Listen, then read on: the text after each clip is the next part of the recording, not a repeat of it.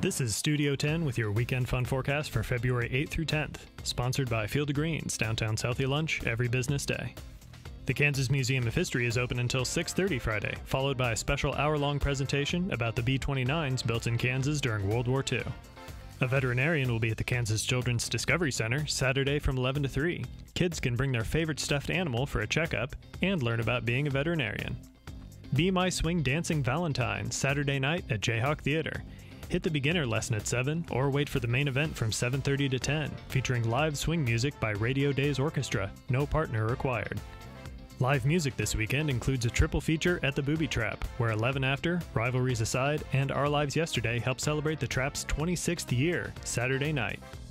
Jasper Shrake Quartet will play jazz and blues at Happy Basset Brewing Saturday from 7 to 10. This is the final weekend of The Fox on the Fairway at Topeka Civic Theater, Friday and Saturday at 8 p.m. A quick look at our extended fun forecast shows the Harlem Globetrotters entertaining with basketball magic Tuesday evening at the Expo Center's Landon Arena. Next Thursday is Valentine's Day. Find a full list of restaurant discounts and special events at everythingtopeka.com, including a live family game show called Topeka Feud Thursday evening. You can just watch or participate by signing up at breakroomdowntown.com. This is Studio 10 for gablocal.tv.